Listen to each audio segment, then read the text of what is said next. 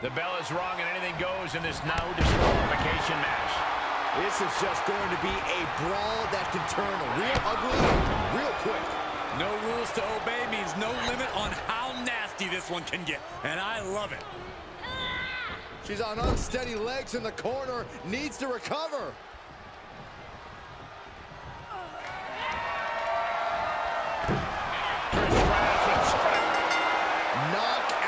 victory. This one is over. Here is your winner, Trish Stratus. No other way to put it.